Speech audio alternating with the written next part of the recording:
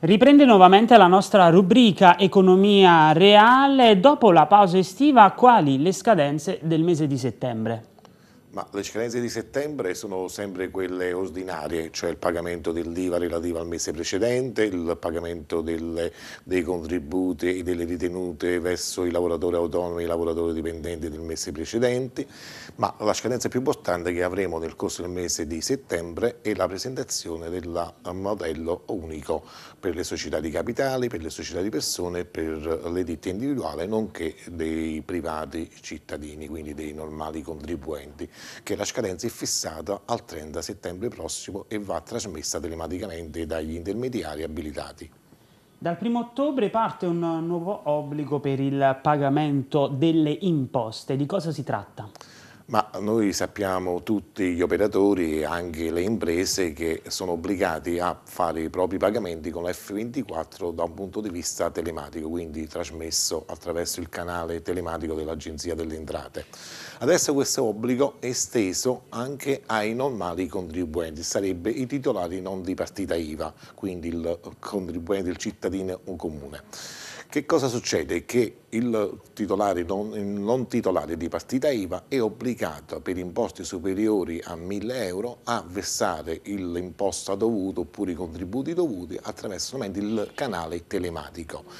La stessa cosa vale anche per imposti inferiori ai 1000 euro quando è prevista all'interno del modello F24 la compensazione di crediti.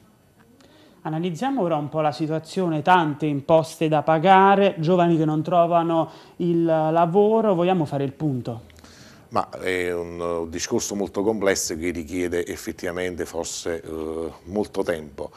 Noi abbiamo programmato attraverso la vostra emittente una trasmissione proprio su quello che è un'analisi generale dell'economia, in particolare dell'agrogenia sernese, quindi del nostro territorio però indubbiamente non possiamo nascondere quello che è il momento difficile che viviamo, noi abbiamo un debito pubblico che oltre qualsiasi immaginazione, uno dei debiti pubblici più alti, chiaramente con tutto questo eh, che cosa succede? Che lo Stato per coprire diciamo, e mantenere gli obblighi assunti nella, presso la comunità europea ha bisogno praticamente di fare dei provvedimenti che consentono e una riduzione della spesa pubblica e allo stesso tempo un incremento delle entrate, però nel momento in cui abbiamo una crisi crisi industriale non si produce, chiaramente il governo può fare solamente azioni verso il taglio delle spese, però ha difficoltà nel reperire nuove entrate.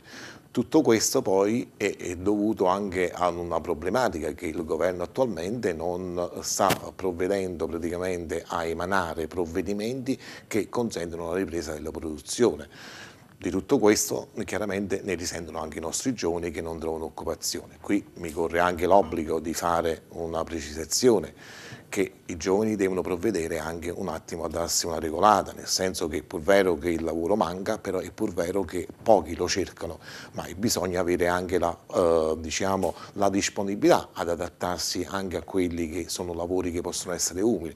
Oggi bisogna cercare di guadagnare e non dire che cosa faccio ed è una specializzazione diversa di quella che ho potuto conseguire una laurea a seguito di un percorso formativo perché avevo una, una determinata specializzazione oggi bisogna adattarsi al lavoro. Bene, ringraziamo il dottor Franco De Filippis e appuntamento alla prossima puntata.